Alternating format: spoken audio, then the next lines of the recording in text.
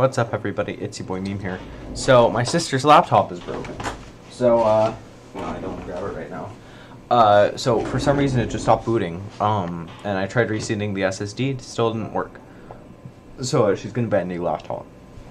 Uh, however, I'm planning to get a SATA to USB enclosure so I can get the files off of it before she, uh, before she gets a new laptop because that's a that's a 500 gigabyte SSD and I I'm not throwing that away. Uh, but yeah, all right. Um, see ya, dude. Hope everybody is having a good day because I sure am. Um, tomorrow's gonna be Wednesday. It's gonna be pretty easy. I'm gonna practice. I'm gonna take a shower. It's gonna be great. Uh, cause there's barely any class tomorrow. Uh, yeah. All right. Uh, see ya, dude.